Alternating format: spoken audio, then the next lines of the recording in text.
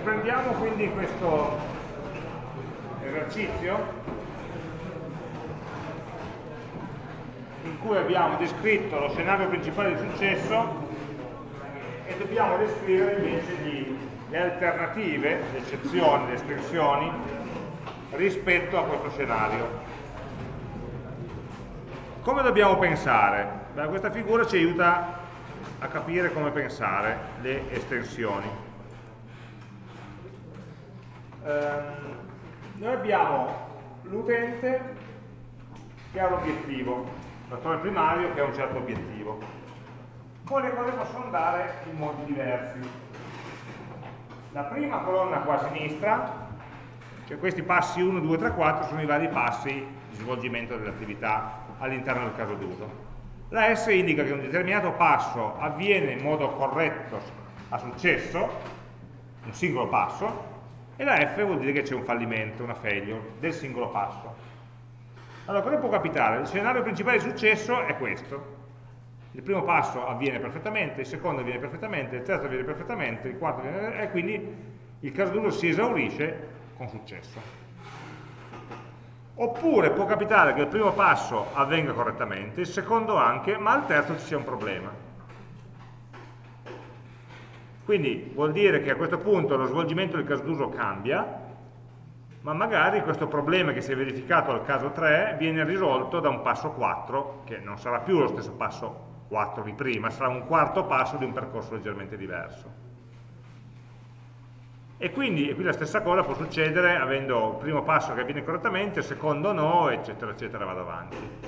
Cosa vuol dire questo? Vuol dire che c'è una serie di malfunzionamenti, errori, errori di immissione, errori di dati, errori di convalidazione, controllo, insomma, di cose che possono succedere, che sono eh, recuperabili, errori recuperabili, cioè il fatto che lo scenario non vada nel modo migliore, nel modo perfetto, non impedisce di arrivare al successo, ci si arriva lo stesso ma con una strada un pochino più tortuosa, perché bisogna andare a recuperare delle condizioni anomale. Oppure ci possono essere dei percorsi in cui invece il fallimento non è recuperabile. E allora eh, vorrà dire che il caso d'uso si concluderà con un fallimento, cioè non sempre è possibile arrivare al successo, nemmeno per strade magari più o meno tortuose. Quindi quando noi consideriamo un qualunque passaggio, passo 2 del, o passo 3 del caso d'uso, mi chiedo, questa sarebbe la cosa normale, ideale che deve succedere, ma altrimenti che cosa potrebbe succedere? Il nostro osservatore intermedio, quali altri tipi di risposte potrebbe vedere? Differenti da quella che avviene nel caso ottimale. Le vado a elencare e per ciascun tipo di risposta diversa mi chiedo come deve reagire il sistema, con l'obiettivo possibilmente di riportare il sistema nel ramo del successo, di recuperare l'errore, il malfunzionamento, l'anomalia, la, la differenza di comportamento rispetto allo scenario principale. Se ci riesco. E se non ci riesco vorrà dire che porterò il sistema al fallimento del caso duro, cioè l'utente non raggiungerà questo obiettivo. Quindi ragiono passo per passo. E quindi la domanda che mi faccio, nella parte di estensioni, è al passo 1 la famiglia seleziona la funzione visualizza vaccini. Cosa può andare storto?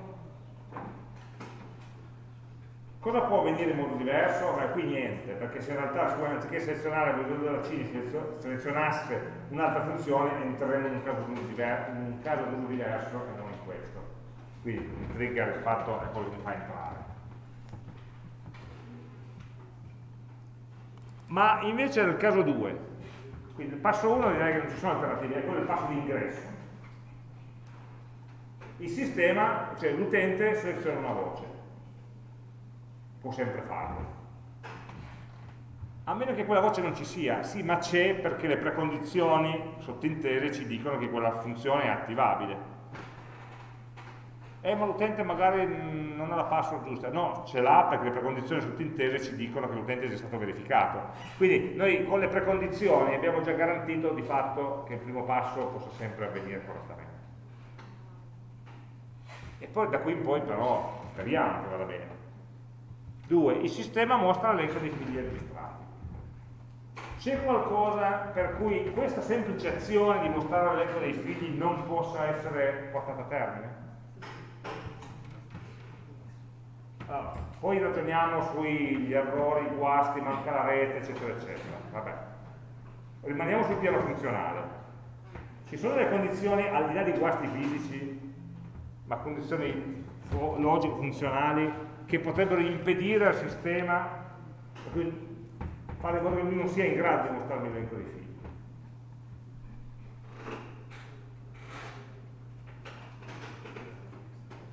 Tempo scaduto quando non ci sono figli. Cioè, la famiglia si è registrata correttamente, questo lo sappiamo. Non siamo sicuri che abbia un numero di figli maggiore o uguale a 1 registrato nel sistema potrebbe non esserci nessun figlio perché questa famiglia si è registrata prima che nascesse, oppure il bambino è nato, magari ha 18 anni, non lo so, ma per qualche motivo non ha pescato i dati dell'anagrafica e quindi non inserire la mano. E la famiglia va prima nella funzione controllo vaccini che non nella funzione inserimento dell'anagrafica perché in realtà sono indipendenti, perché lo può fare, perché non è, non è impedito di farlo. Perché non deciso di mettere in processi diversi, perché la famiglia ovviamente può controllare vaccino, aggiungere un figlio e viceversa in qualunque ora. Quindi può darsi che quando la famiglia arriva lì non ci siano figli registrati nel sistema. Allora, mostra un elenco di figli non si può fare se non ci sono figli. Allora ho l'anomalia, diciamo l'estensione che chiamiamo 2A, in cui non ci sono figli registrati sì, per quella famiglia.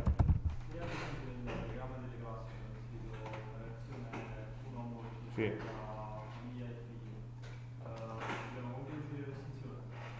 Allora, la domanda è sensata. Lui dice, eh, ma nel diagramma delle classi mi ricordo che avevamo messo una relazione apposta di cardinalità minima, quindi la relazione tra famiglia e figlio era di 1 a molti, eh, e quindi, dice lui, dal modello concettuale questa situazione non si dovrebbe mai verificare.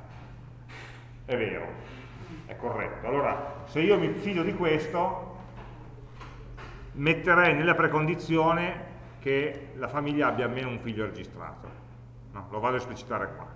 E allora a questo punto questo caso non si può più verificare perché so già a monte, quello che stai dicendo tu, e so già a monte dal diagramma concettuale che questo non si può verificare. Allora come precondizione lo, lo indico e se lo indico come precondizione so che è vero. Okay? A livello logico qui, questo è possibile, se, non, se qualcuno non mi dice che è già stato garantito a monte, ad esempio, dal modello concettuale. Okay?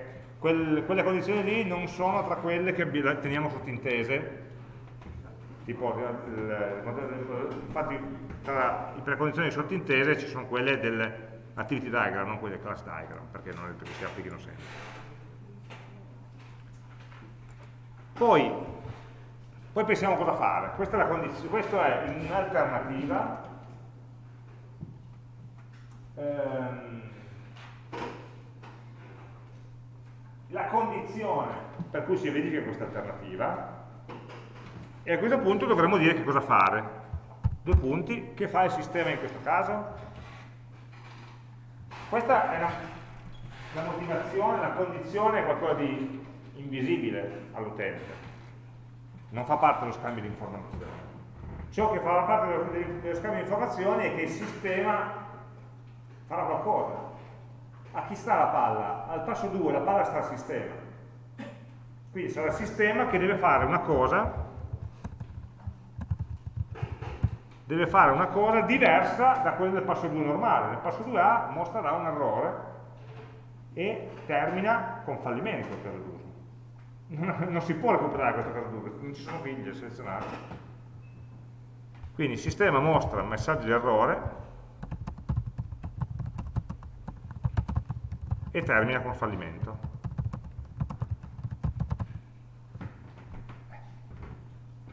Non è recuperabile questo caso. come diceva questo compagno sarebbe stato più furbo non, non rendere neppure la funzione attivabile, nel senso che fallite, ma a volte si può fare, a volte si può fare, dipende come è organizzato.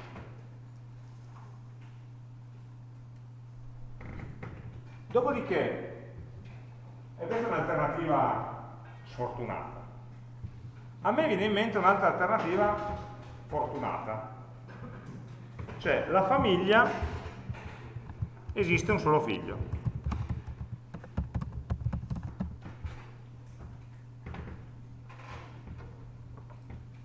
Allora, se esiste un solo figlio, ti mostro un elenco con una voce e ti dico seleziona quella voce lì.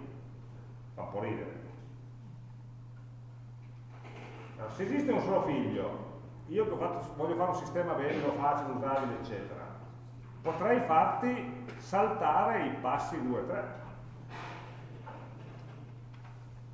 Cioè tu quando entri come famiglia, se hai un figlio ti faccio subito vedere l'elenco dei vaccini di quel figlio lì, perché tanto quello hai. Se ne hai più di uno, prima ti chiedo di scegliere il figlio, poi ti faccio vedere l'elenco. Quindi nel caso di questa estensione, non è un'estensione, è una, se vogliamo un'anomalia, un caso particolare, non necessariamente un errore. È un caso particolare che voglio gestire con un percorso diverso. E quindi vai al passo 4. Quindi sistema, eh, anziché fare il passo 2, in alternativa al passo 2b salta direttamente al passo 4 nel quale toccava sempre ancora il sistema a giocare e quindi è il sistema che risponde e mostra direttamente le collezionazioni del figlio selezionato o sottinteso quello unico che c'è. E poi termina con successo, quindi questo è un caso di eccezione che termina recuperando il, il successo del caso giusto.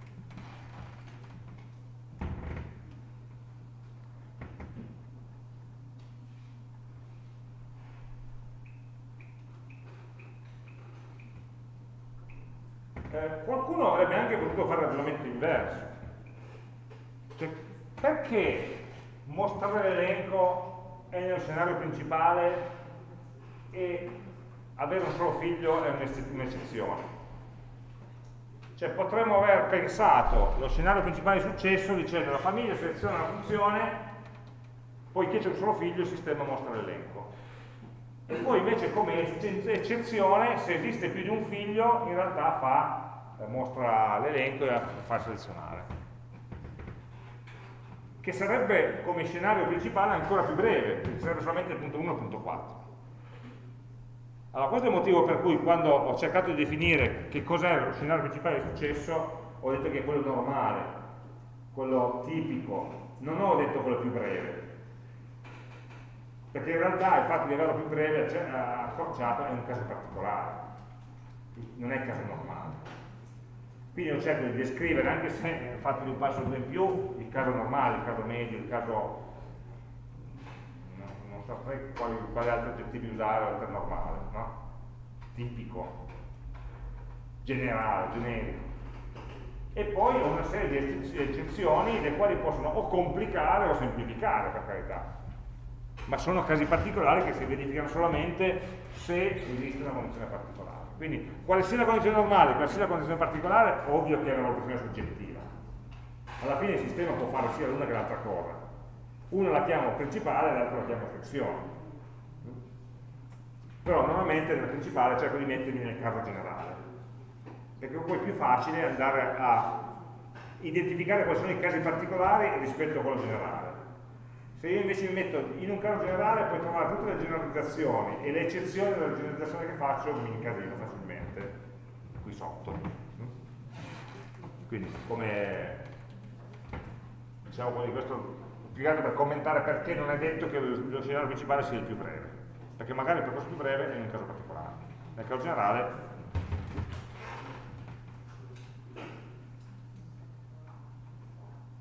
Ok, e direi che altre alternative al passo 2 non ne vedo.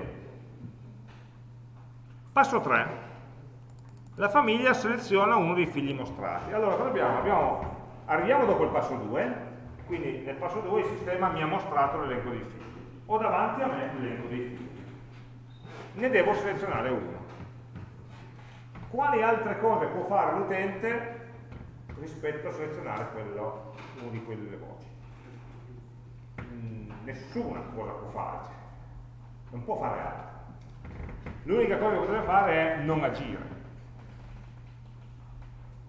Questo lo, lo gestiamo tra un attimo a parte, l'inazione. Se fa qualcosa, l'unica cosa che quella pagina lì può fare ha questi quattro bottoni, due, tre, quanti sono i figli, erano 18 prima, e selezionarne uno in quella pagina non può fare un disegnino, scrivere il nome, no. Sistema gli ha predisposto quell'input lì e lui quel, solo quell'input può dare. Oppure abbandona, chiude, se ne va, o non risponde, allora è diverso. Ma se fa qualcosa deve fare una di queste cose. Quindi non ci sono alternative, non ci sono azioni diverse che la famiglia possa fare. Ricordiamo che al passo 3 l'azione spetta alla famiglia e quindi mi devo chiedere cosa la famiglia può fare di diverso rispetto a schiacciare un bottone. Passo 4, quindi qua non, non trovo alternative al passo 3. Al passo 3 sotto sì invece ne trovo, ma lo vediamo dopo. Passo 4, il sistema mostra l'elenco delle vaccinazioni del figlio. Quindi stiamo pensando a cosa succede dopo il passo 3, nel passo 3 ha selezionato uno dei figli e quindi il sistema mostra un elenco.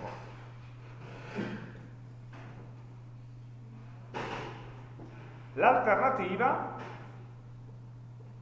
è che in questo elenco che non ci siano vaccini registrati.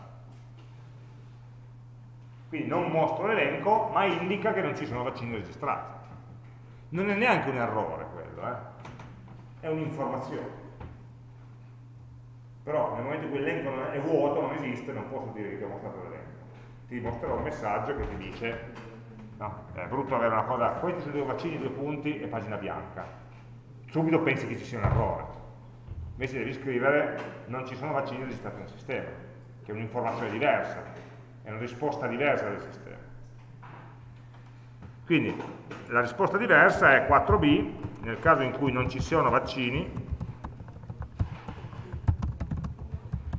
registrati, registrati allora il sistema mostra messaggio informativo e termina con successo.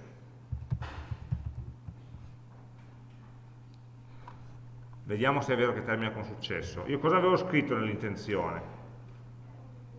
Conoscere lo stato di vaccinazione. Se avessi scritto vedere l'elenco non sarebbe stato successo, perché vuol dire che l'elenco qua non te lo sto facendo vedere, ma per fortuna siamo stati bravi e abbiamo scritto conoscere lo stato di vaccinazione e il fatto che non ci siano vaccini è un, è un possibile stato di vaccinazione. E quindi posso dire che è successo. Quindi dobbiamo sempre poi andare a confrontare l'obiettivo che ci siamo dati con ciò che succede nel sistema quando dichiariamo successo e verificare che sia coerente se avessimo scritto controllo elenco avremmo voglia di correggerlo a questo punto e generalizzarlo un po'. Ma può succedere, perché ti accorgi poi solo dopo che esisteva qualcosa particolare e tu come avevi scritto non andava bene. Ci sta.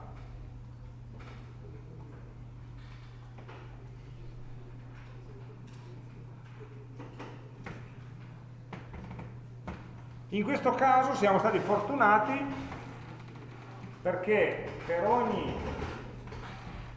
possibile percorso alternativo l'azione che doveva fare il sistema si conclude in un passo solo, in un punto solo, addirittura di zero passi perché semplicemente passa a un altro punto del, non deve fare nulla di particolare in più, ma la risposta è semplicemente a un punto diverso. A volte invece recuperare questa anomalia richiede magari un paio di interazioni tra utente e sistema allora, in questo caso cosa si fa? Perché in questo caso appunto 2A mostra un messaggio d'errore. Se invece, oltre a mostrare un messaggio d'errore, avessi dovuto chiedere dei dati, l'utente l'avesse dovuto inserire, eccetera, come lo descrivo questo? Lo descrivo sottonumerando queste parti. Cioè avrei fatto, ci sono 2A, non ci sono figli registrati per quella famiglia, quindi 2A.1, 2A.2, 2A.3, 2A.4, descrivo i vari passaggi sempre a ping pong, eh, necessari per gestire l'anomalia che è nata, che è sorta in 2A.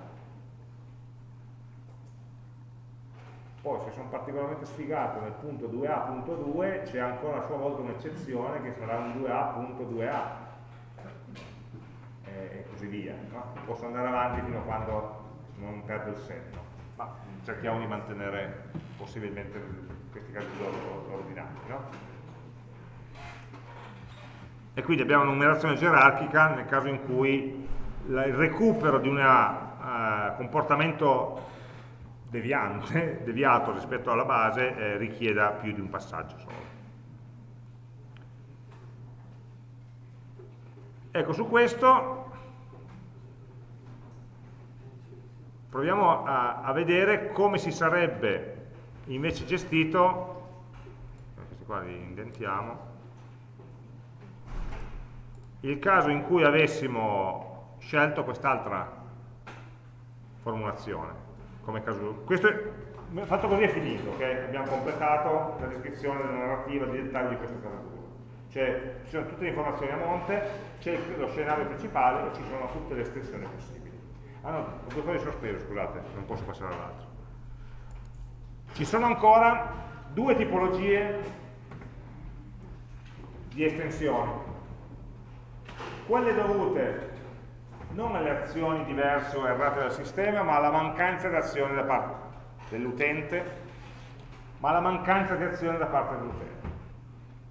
Come descrivo come si deve comportare il sistema se l'utente non agisce. Allora, se non scrivo niente, praticamente sto supponendo che il sistema rimanga in attesa all'infinito che l'utente agisca. Quindi se eh, il sistema mostra l'elenco dei figli registrati e la famiglia non seleziona nessuno dei figli mostrati, in realtà il sistema rimane sempre in attesa che la famiglia selezioni. Ecco, i, sistemi reali non, non, funzionano mai così, nel senso che hai sempre un tempo massimo entro il quale devi inserire, se no poi si chiude la sessione e devi ricominciare da capo. Allora, in questo caso possiamo, diciamo così, mettere a fattor comune tutti i casi in cui la famiglia non inserisca dei dati, non agisce, non interagisce col sistema e chiudiamo il caso d'uso. Quindi questo qua diventa un caso d'uso sia nel punto 1 che nel punto 3 io di solito ci metto un asterisco per dire una lettera diversa da quella di prima, non so se B, C o D, ma nel caso 1 e nel caso 3 sarebbe un 1A e un 3A in questo caso,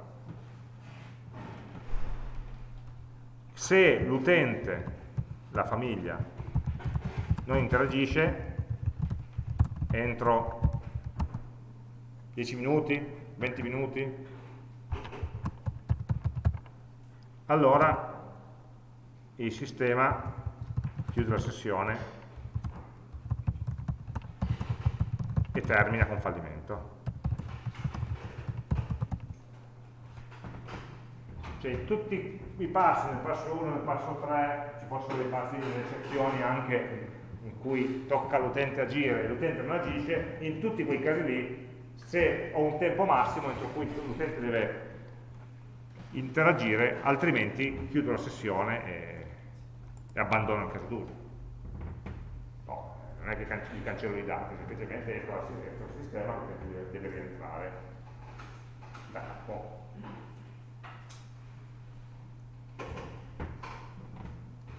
Eh, il caso di, di guasti del sistema invece è molto più complicato da gestire e andrebbe però affrontato già con la conoscenza dell'architettura del sistema.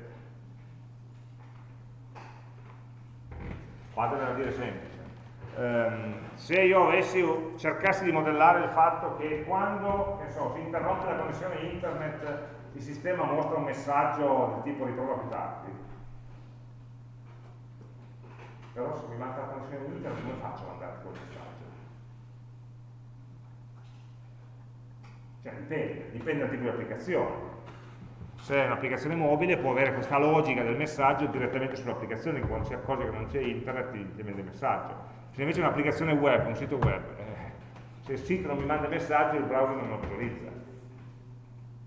Quindi un determinato comportamento dipende poi dal supporto tecnologico con cui quell'applicazione viene eh, binarizzata. Anche in caso di applicazione web, applicazione web in cui ci sia una logica lato client, la logica lato client potrebbe gestire questa cosa qui.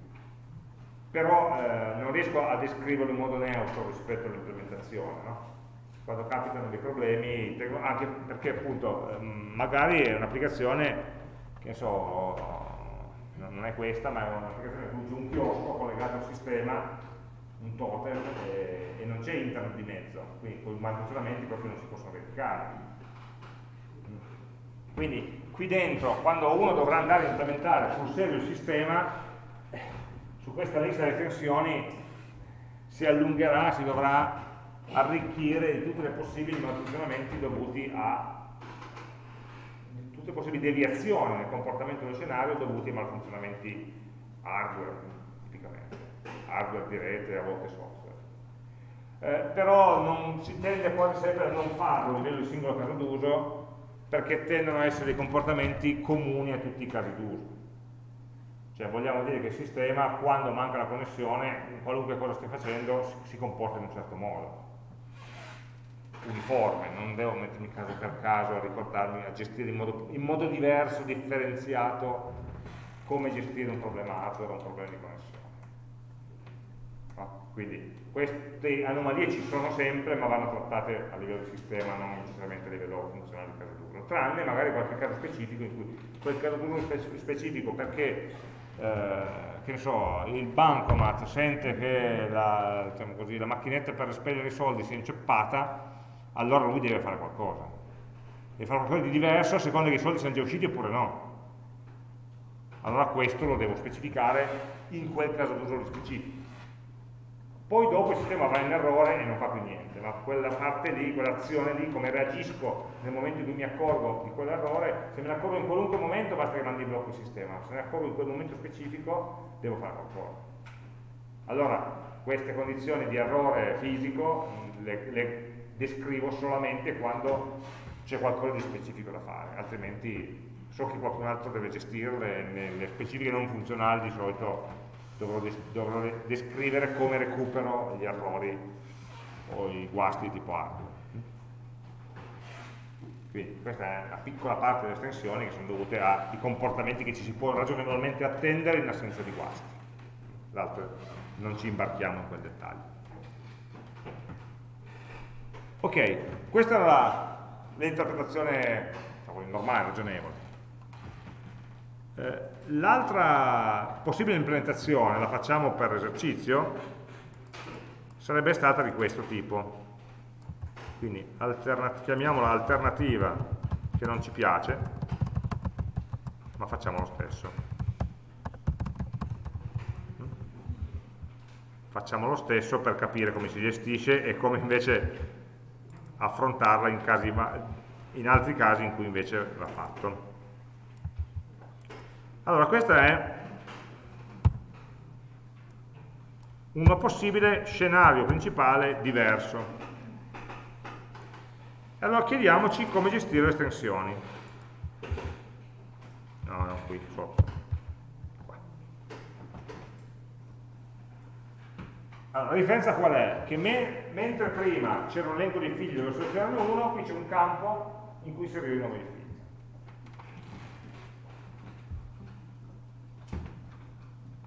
Allora, nel passo 2, dove prima avevamo l'eccezione, cosa succede se non ho figli? Se non ho figli non te li posso mostrare, e quindi saresti bloccato lì, non riusciresti ad andare avanti, quindi non devo farti arrivare qui. Qua invece non c'è problema il sistema può sempre mostrare un campo di testo vuoto dicendo utente e mo scrivi tu. Quindi non ho quell'eccezione, non c'è motivo di trattare in caso particolare il caso di un figlio solo. E quindi non ci sono eccezioni al punto 2.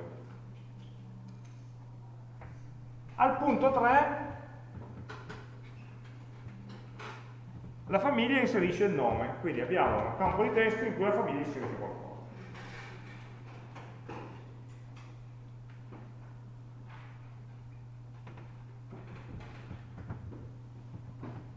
Possono darsi tre casi. Caso 1, la famiglia non inserisce nulla. Ebbene, ricadiamo nel, non interagisce, chiude la sessione, eccetera. E poi però mentalmente noi abbiamo altre due possibilità, inserire un nome giusto o inserire un nome sbagliato. Peccato che nel passo 3, che è quello in cui la famiglia inserisce il dato, non posso distinguerli. Per me, una delle due pettegole ha detto all'altra una frase che può essere giusta o sbagliata, non lo sappiamo finché non vediamo la reazione dell'altra, che dice oh sì sì sì, oppure dice ma sei pazzo. E quindi inserire un dato errato è sempre inserire un dato. Poi sarà la reazione del sistema che dopo aver verificato il dato, l'azione che non vediamo, mi farà vedere all'utente che il dato è stato accettato oppure no. Quindi l'errore nell'inserimento del dato non lo vedo nel momento in cui lo inserisco, ma lo vedo nel momento in cui il sistema risponde a ciò che ho inserito, cioè al passo successivo, al passo 4. È il sistema che mi dice che il dato è sbagliato. Quando il dato è inserito non lo so. Chi osserva la comunicazione e non conosce i dati memorizzati nel sistema non può sapere se è sbagliato. Quindi l'estensione qua è la 4A, e dai, in cui il, eh, il nome, inseri, nome inserito non corrisponde a nessun figlio.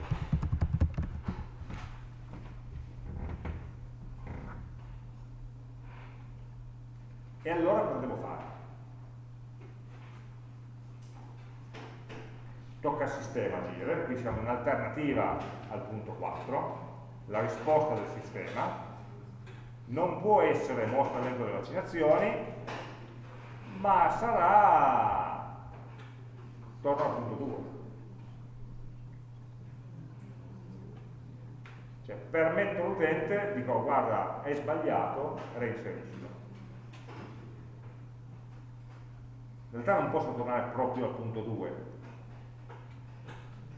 no? perché il punto 2 direbbe inserisci il nome, allora immagina l'utente, campo, inserisci il nome, inserisci il nome sbagliato, invia e ritorna sulla stessa pagina così che inserisci il nome. No. Deve dare una pagina leggermente diversa in cui c'è scritto il nome inserito è errato, per favore correggilo. Quindi non va esattamente al punto 2, ma va a una sua variante del punto 2. E quindi abbiamo un passaggio in cui nel punto 4A1 quindi cosa faccio in questo caso? Se il nome non si dice nessun figlio, il sistema mostra un messaggio di errore e predispone un campo di testo in cui correggere il nome inserito. Cioè vuol dire che questo campo di testo non parte vuoto, parte già col nome che ho inserito prima e mi permette di correggerlo. No? Non c'è nulla di peggio di dire hai sbagliato a inserirlo e non vedere cosa ho inserito, quindi so, lo devo inserire da capo ma non so perché ho sbagliato. Se invece mi dice è sbagliato me lo fa vedere, io identifico l'errore. E a questo punto ho mostrato questo e vado al punto 3 quindi il punto 4A2 ah,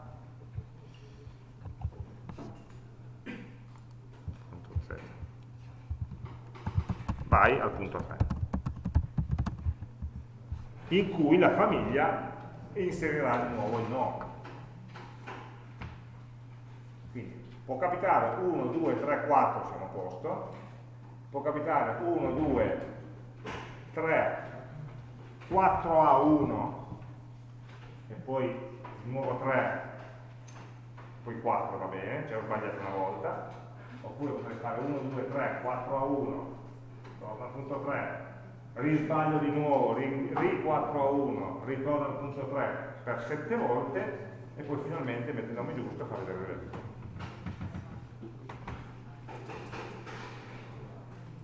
a meno che non decidiamo che il numero di errori lo limitiamo al massimo a 3, 4, 5, 6.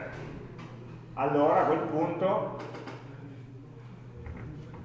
se decidessimo che il numero massimo di errori è limitato, non può sbagliare 10 volte e poi inserire quello giusto perché, perché sospetto che stia provando, magari non è lui, è uno che sta cercando di entrare nel sistema, cercando di inventare i nomi, quindi lo voglio bloccare, allora avrò un'altra alternativa che diventa un 4b in cui il nome inserito non corrisponde a nessun figlio ed ho già sbagliato e l'errore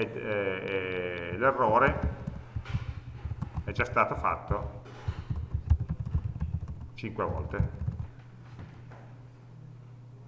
Allora in questo caso, caro mio, ti sbatto fuori. Allora, in questo caso il sistema mostra errore e termina con fallimento.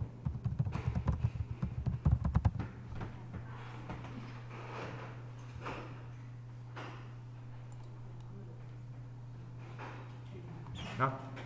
Quindi se tutto va bene il sistema mostra l'elenco, se compie un errore mi segnala l'errore e mi permette di correggerlo e di reinserirlo e quindi tornare al punto 3. Ma se persevero in questo errore per più di 5 volte, invece mi mostra un errore definitivo e non mi lascia più andare avanti. Non sarebbe male evitare di costruire dei casi duro potenzialmente infiniti. Non è una regola, però è un dubbio che uno si ci pone.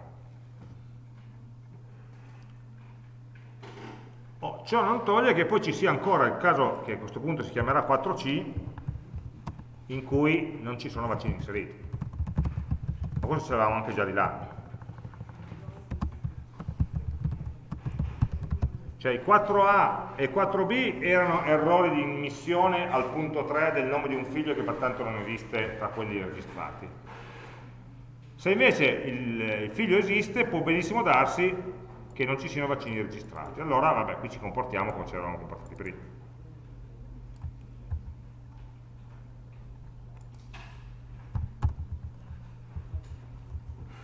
Il sistema mostra il messaggio informativo e poi termina con successo.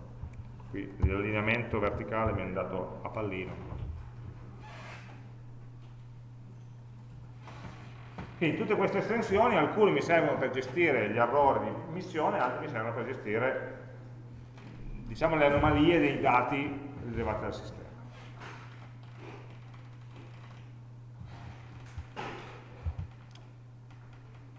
E, ehm,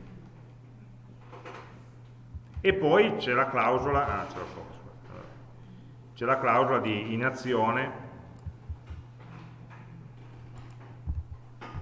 Quando è che la famiglia non interagisce? Nel punto 1 nel punto 3 e poi basta perché non ci sono nelle altre estensioni dei casi in capo alla famiglia. Quindi cerchiamo di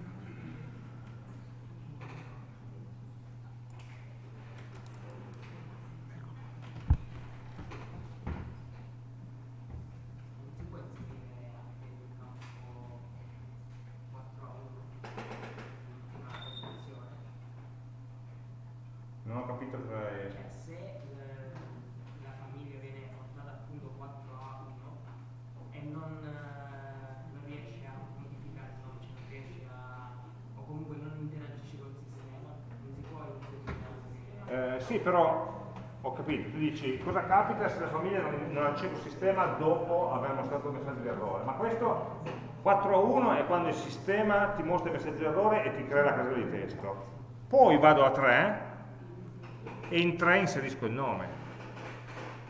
Quindi è sempre il passo 3, sia quando ci arrivo per la prima volta che quando ci arrivo in seguito un errore, sono sempre passato dal passo 3.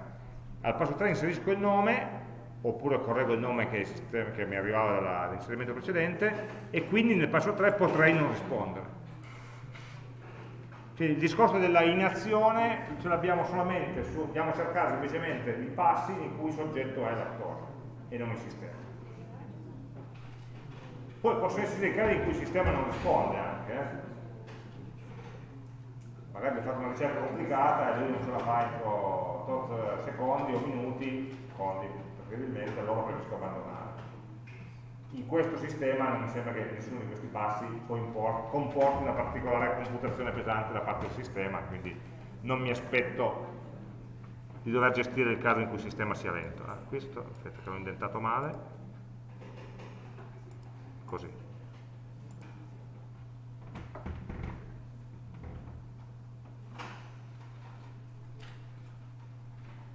E tutto questo è un gioco di cosa succede se. Cosa può andare storto.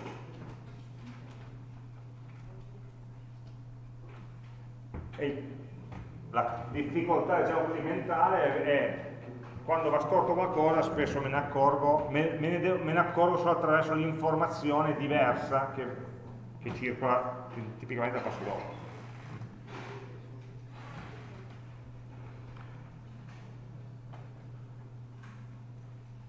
Ok, quindi in questo caso, diciamo così, un, un, meccanismo di questo genere alla fine ce lo dovremo trovare sempre quando avremo dei dati da inserire, in cui vanno inseriti da zero dall'utente inserisco un dato che il sistema non sa già e quindi deve gestirmi tutta questa parte qua.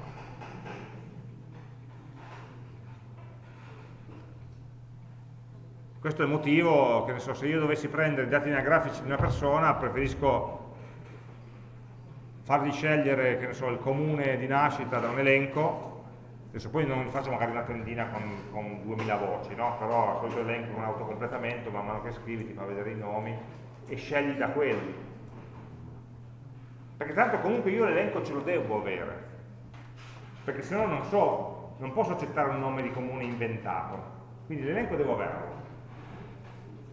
Fare in modo che lui scriva il nome e poi controlli se è uguale a uno della voce dell'elenco e apre, cioè immaginate il,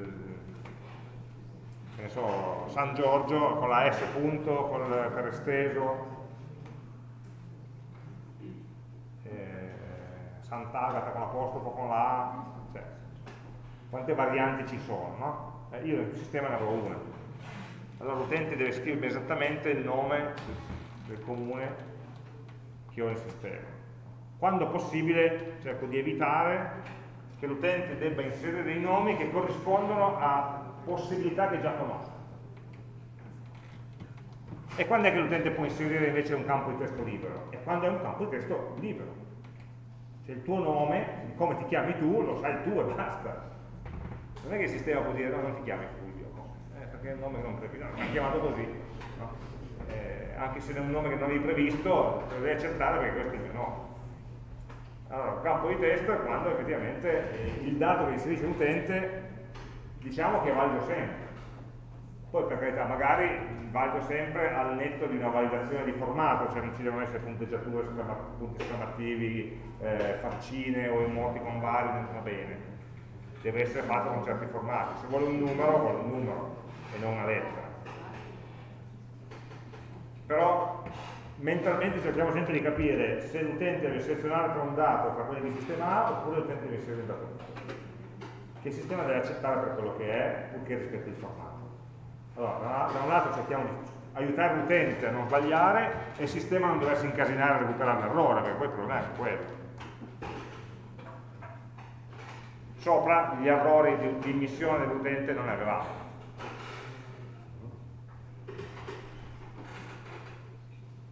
In più, questo è anche brutto come sistema, me ne sono accorto adesso mentre mentalmente ripassavo l'eccezione del caso precedente, che se per caso il sistema non ha nessun figlio registrato e stiamo frustrando questa persona che sta provando a continuare a mettere i nomi e il sistema risponderà sempre di no perché non potrà mai indovinare un nome che non c'è perché non ci sono figli pensa di inserirlo male e quindi sarebbe bello che anche il sistema però abbiamo già detto prima che non ci piace questa soluzione no? però un motivo in più è che in un caso lecito cioè non ci sono figli registrati questo sistema non aiuta l'utente a capirlo, ma gli segnala ripetutamente errore, eh, dovrei gestire un caso in più.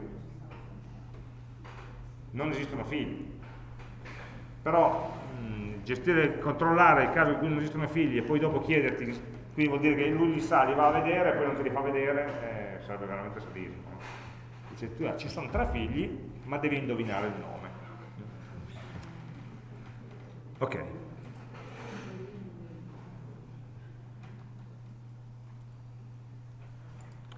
Um, continuando sul nostro caso d'uso, che era questo, abbiamo detto, beh, facciamo quello facile, consulta elenco.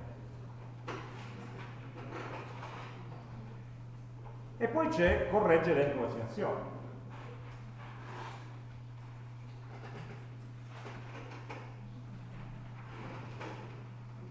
Allora, cosa vuol dire? Vuol dire che eh, dobbiamo creare un'altra descrizione per cosa succede nella correzione dell'elenco delle vaccinazioni.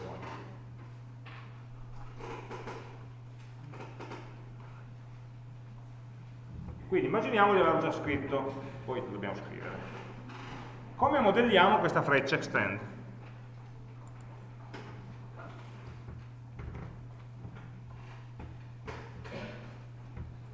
un'estensione.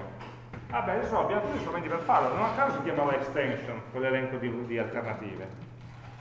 Cioè vuol dire che a un certo punto l'utente, anziché fare un passo di quelli che sono previsti dal caso d'uso che abbiamo descritto, per estensione va direttamente dentro un'altra d'uso.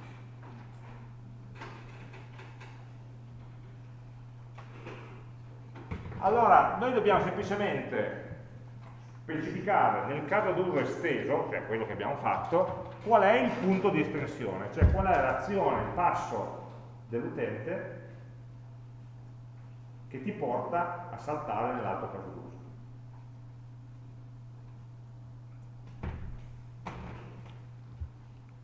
E qual è il passo? Dov'è? Dello scenario principale in cui l'utente a un certo punto cambia intenzione, cioè non è più il suo obiettivo cambia da voglio conoscere lo stato di vaccinazione a voglio modificare l'elenco dei vaccini. E di fatto sarebbe il passo 5, può cambiare idea solamente dopo che ha visto l'elenco Quindi in questo caso stiamo creando un'estensione, un'alternativa a un passo che normalmente non c'è.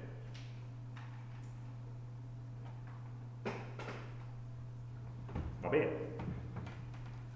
Lo chiameremo l'alternativa 5A. O a volte lo chiamano, se guardate sulle slide, suggeriscono di chiamarlo 5 più, per dire aggiungiamo, in alternativa aggiungiamo il passo 5 perché là sarebbe alternativa di un 5 che in realtà non ma è una questione puramente formale su cui non mi voglio appassionare. Per l'alternativa al passo 5 che essendo un'estensione può verificarsi o no dipende da, dalla volontà dell'utente a questo punto la famiglia diciamo così, lo chiamiamo extension famiglia passa a l'altro caso che si chiama corregge elenco vaccinazioni.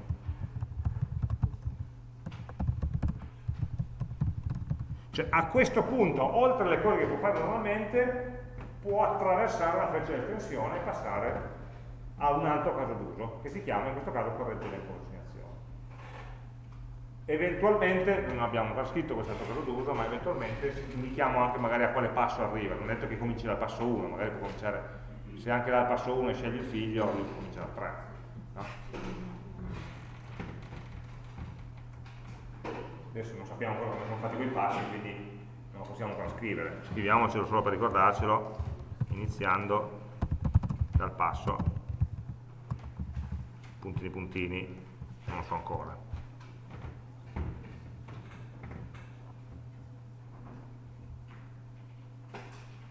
Quindi quella freccia extend in cui si diceva guarda che a un certo punto l'utente può decidere, io qua ti dico quando e come posso permettere all'utente di decidere, di passare una cosa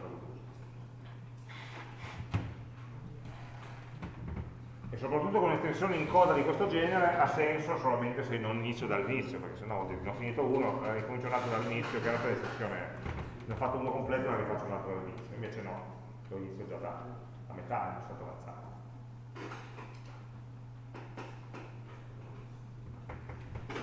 Okay.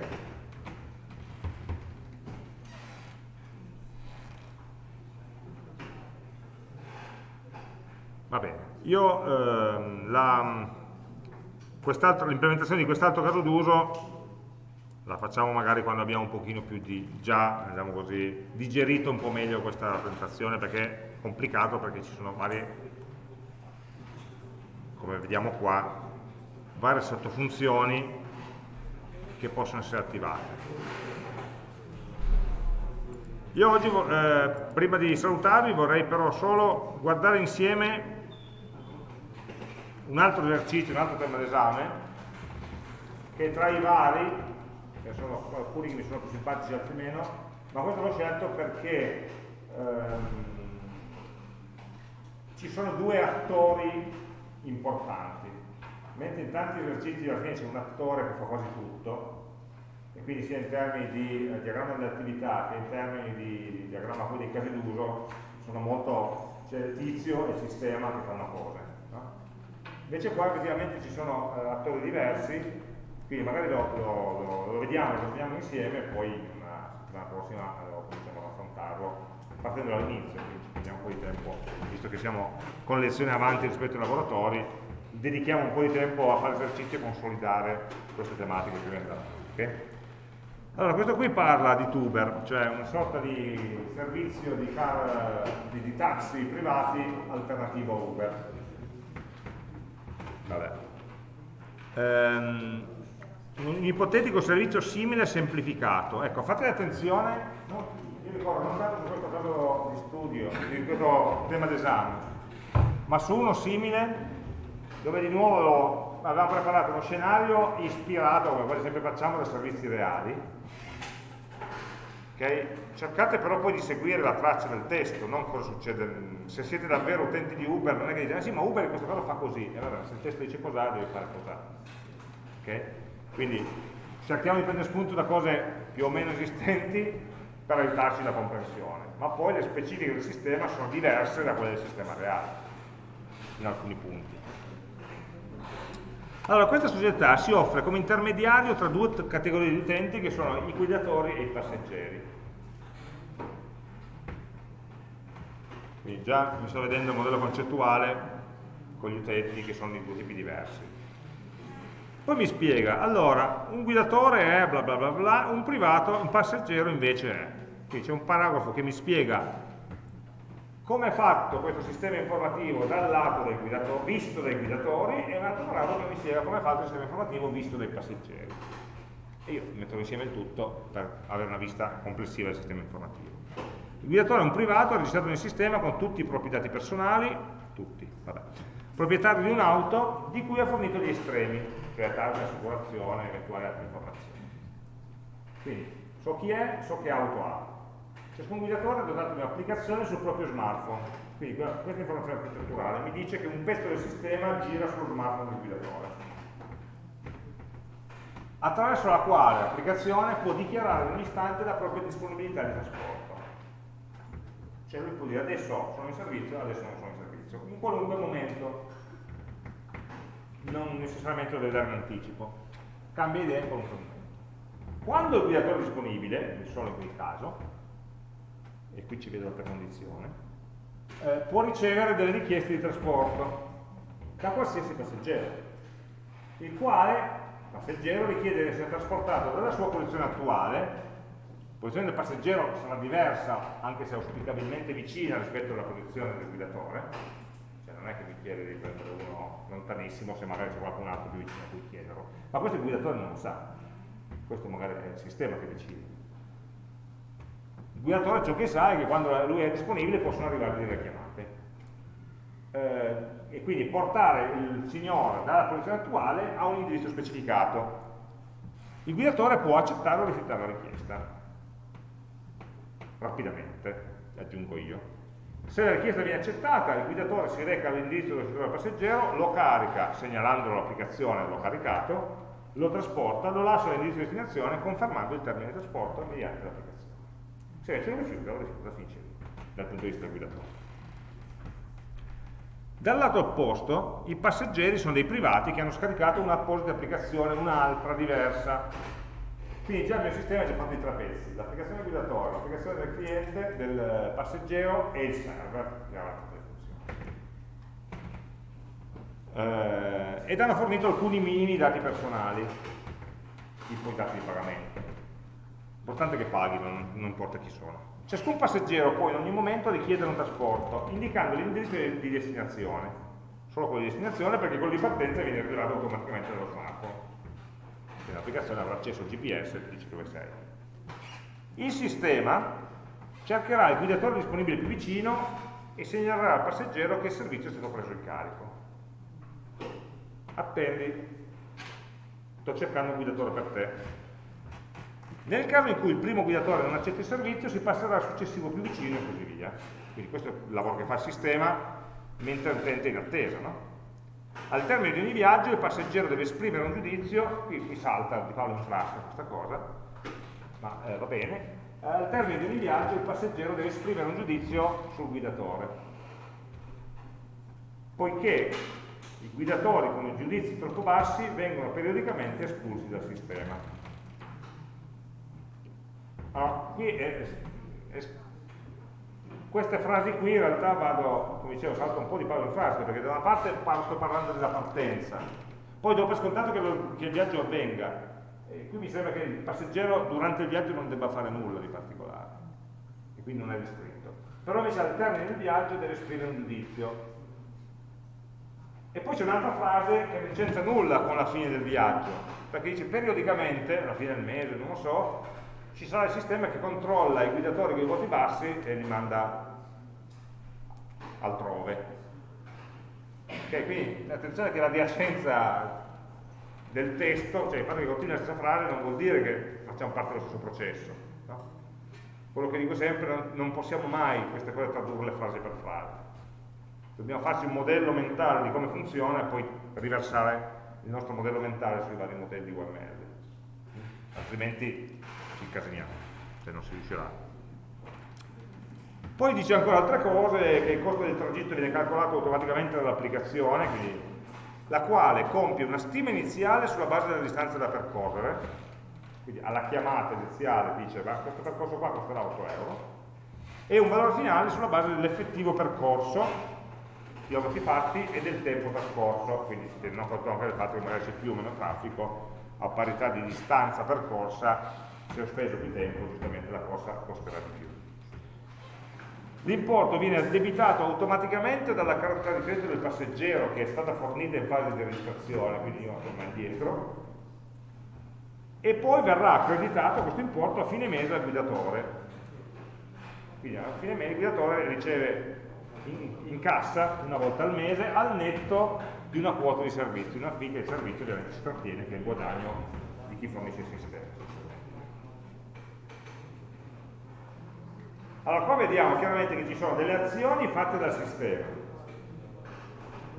Versa i soldi al guidatore, stabilisce chi deve essere espulso, eccetera. Alcune agganciate alle azioni degli utenti che poi fanno ricerca del guidatore più vicino, altre invece sono attività di servizio sue interne, periodicamente fa questa cosa. Poi ci sono azioni su due altre componenti del sistema informativo che sono l'app del guidatore e l'app del passeggero che però si devono interracciare in qualche modo. Tutto comincia con l'app del passeggero che fa una richiesta e questa viene recepita dal sistema il quale trova il viaggiatore più vicino, il guidatore più vicino e manda una richiesta che verrà a questo punto visualizzata sull'app di quel passeggero, di quel guidatore specifico e quando lui risponde l'informazione viene di nuovo veicolata all'utente. Quindi quel giochino dei segnali, di processi paralleli qua, di fatto poi il cuore di questa applicazione. No? Far, far, comunicare tra loro varie parti per mandare avanti un processo che in realtà si svolge su pezzi diversi del sistema informativo. E su anche, parliamo di token diversi, perché una singola richiesta di un passeggero, puoi coinvolgere magari 3-4 guidatori diversi, perché fino a quando uno non accetta, il processo del guidatore potrebbe essere, quindi potrebbe essere multiplo. Questo rifiuta, questo rifiuta, l'altro accetta. Quindi, poi dipende un po' come si modella, uno può modellare questo, pensando all'attività diagram, dal punto di vista del viaggio, il ciclo di vita del viaggio da quando nasce a quando viene concluso, o dal punto di vista del guidatore e del passeggero, quindi due processi che raccontano l'esperienza da un punto di vista o all'altro. Sono due modi molto diversi di descrivere la stessa cosa, dipende da cosa, cosa troviamo diciamo così, più naturale. E anche poi il diagramma di casi d'uso, sono casi d'uso che hanno questi due attori forti, guidatore e passeggero, alcuni trigger, ad esempio il fatto che il guidatore riceve la segnalazione del tipo accetti o no, questo è un caso d'uso triggerato dal sistema. Quindi, mentre il modello concettuale di questa roba è relativamente semplice, il modello di processo e il modello di casi d'uso invece sono un pochino, un pochino più articolati, per, per questo ho scelto questo esercizio da portare avanti in questa fase del corso. Ci regaliamo 5 minuti? Vi saluto. No, sono solo 3 minuti.